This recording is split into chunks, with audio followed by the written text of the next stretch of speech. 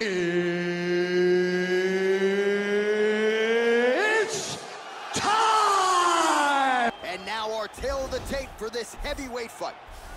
More than five years apart, with similar height and reach. All right, now for the introductions, we go to Bruce Buffer. Ladies and gentlemen, this is the main event of the evening.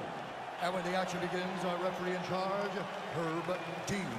All right, so here we go. Round one is underway, and when we sat down with him on Thursday, he understood the grappling challenge he was up against. He's not afraid to engage on the ground tonight. It's a danger that is not worth risking.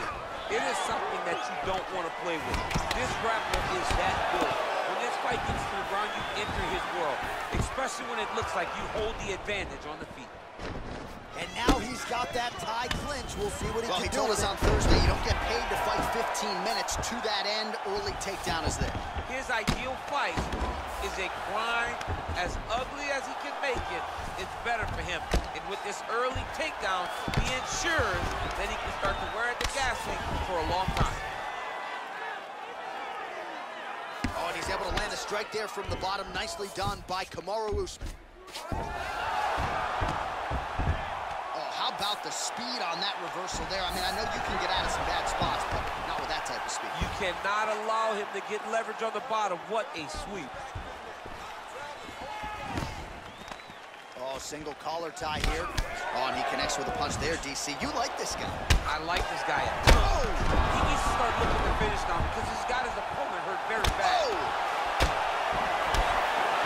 And we got a fight on our hands. Oh! Oh, he's hurt bad. He's hurt bad, John. He's got to press it. He's got to go chase that finish down now.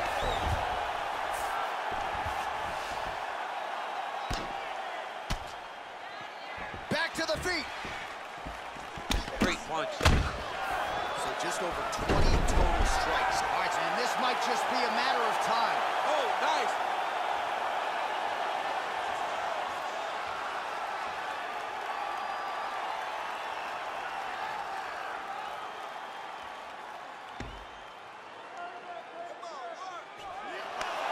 Wow. Strong bottom work here, staying busy. Oh, man.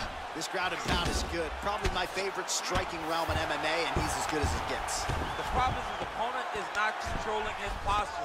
He's allowing his opponent to get up, and when he does, he creates distance and space to land these beautiful ground and pound combinations. A lot of top pressure being applied here. Keeping busy here off of his back. Nice offense from the bottom. Well, there are a few things more fun to watch in mixed martial arts than these type of transitions and scrambles on the ground. High-level grappling can really be entertaining. All right, a good ground and pound by him here, certainly staying busy, and not just busy, but effective. You can just throw punches to keep the referee off you. This guy is throwing punches to be effective, to throw oh. damaging strikes. He's doing a fantastic job.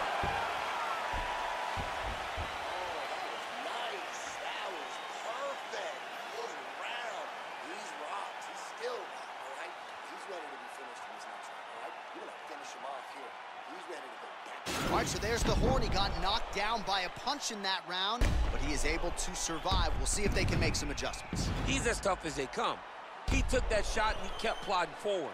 He got off of his butt. He got himself off of the canvas and tried to get right back to work. But he cannot take many more of these. You don't want to be the guy that's testing how tough that your chin is.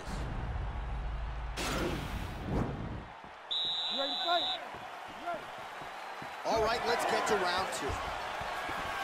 Oh, he lands another strike to the body, really starting to connect on a lot of shots to the midsection, and these will take their toll as this fight goes into the latter rounds. Usman gets the takedown, useful. And he landed the right hand there. Well, you gotta be working off of your back. He's certainly doing so here. Nice punch. That was lightning fast, that right hand. Well, as usual, suffocating work from the top here by Kamaru Usman. He's putting him in exactly the positions he needs to be in right now. He's able to relax here. And he understands, being a veteran of so many fights, that as long as he's on top, he's winning. He feels like he's winning here. All right, so he postures up here and now figures to rain down some ground strikes. Yeah, the ground and pound will be a plenty from this position.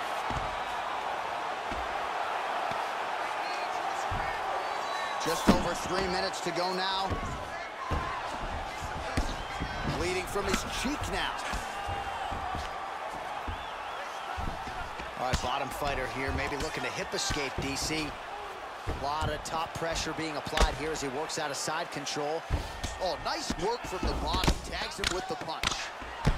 All right, so pretty good damage here with the ground and pound. Nothing superficial about these strikes. They are intending to harm. Oh, yeah, he's landing very accurately, and he's landing to get damage off.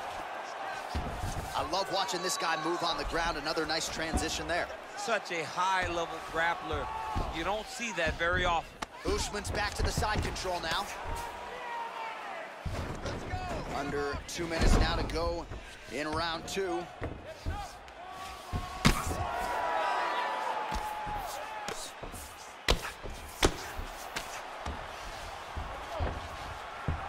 A lot of top pressure being applied here. Nicely done there as he forces the miss from his opponent. All right, he's sort of hanging out here unguarded, DC. Not sure if he's trying to bait him in or what, but not great body language here. Final minute. Oh, he's got the ground and pound going now. Close guard. Oh, nice job here staying busy off of his back. Nice offense from the bottom. Pretty good ground and pound by him here. He told us on Thursday he needed to be more effective in these situations. Certainly effective tonight. Many people have gone away from this style of fighting. This man has embraced it, and you are seeing why he's one of the best that we've seen do it in a long time. Oh, wow, that happened quickly as the fighter reverses position there on the ground. Unbelievable position change. Wow, what a transition. All right, so a crowd-pleasing five minutes in the books. DC, take us through some of the highlights, man. Punch after punch landed right on his opponent's face. Did a great job of finding his target, locking in, and then getting, the, getting his fist to the target in that round. Beautiful, beautiful. Everything is going beautifully. Your wrestling's too good for him. He can't stop you. You're gonna go out there and keep All right, DC, here we go with our next round, and we'll see if he can pick up where he left off. High volume of strikes landed in the previous round. High volume of strikes landed. He was able to be accurate, but also very, very active in his approach to the start of this fight.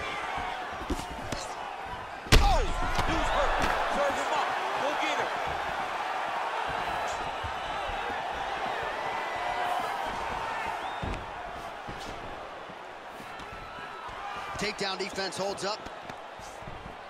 Oh! Now goes in and secures the takedown. He jumps on a headlock. We call this in wrestling just a headlock. And if you're not careful, you can get stuck in an arm triangle. Watch triangle, watch triangle. Needs to push the arm to the side. Get his head against the mat. Now watch as he goes to the finish. Watch his chest go to the. He's gone. He's gone. He's gone. He's gone.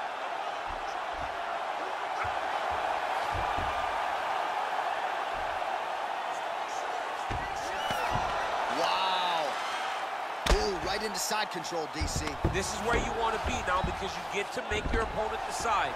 They try to turn back into you, you can attack guillotine.